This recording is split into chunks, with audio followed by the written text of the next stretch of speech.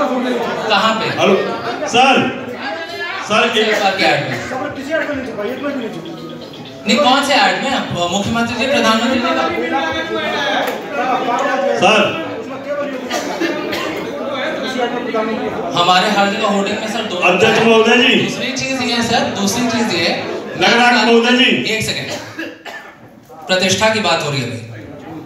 चलो करो प्रतिष्ठा ये कर लो वैसी बात नहीं किसी अधिकारी के प्रतिष्ठा पे किसी को भी हक नहीं है कि कुछ कहा जाए सर। मैं आपसे माफ़ी चाहता हूँ बट ये बात मुझे नहीं बची। चलो चलो भाई मैं ये नहीं कहता हूँ लेकिन क्या अधिकारी का ये नहीं है? हमारे नगर साहब को ये नहीं देखना चाहिए कि मेरे साहब ये ऐड लेकर आप औकात की बात नहीं कर सकते।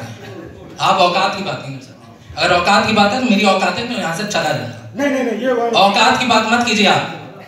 बिल्कुल गलत है। औकात की बात आप कैसे कर सकते हैं सर? हमने किसी भी नेता के बारे में औकात की बात नहीं की है। हम सब सभ्य परिवार से हैं।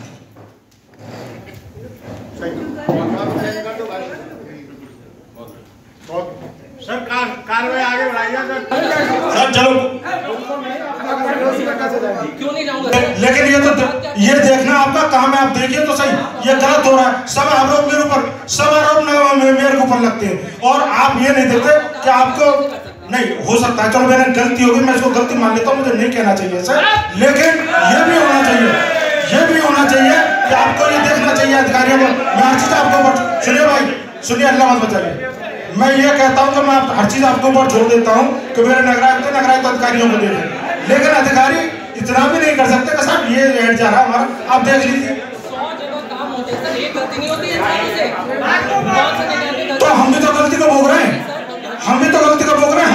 काम करते हैं। मेरे सर हम भी तो गलती को भोग रहे हैं। जब सबरी बात हो गई मेयर साहब कह रहे हैं, कोई गलती हो गई अब क्या हो गया अब इसमें?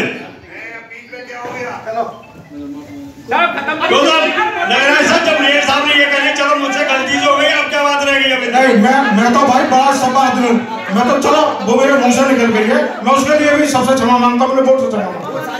लेकिन इसका मतलब ये नहीं है कि कम से कम आप इस नगर निगम के नगर आयुक्त हैं। आपको ये देखना चाहिए कि गलत काम क्यों हुआ भाई?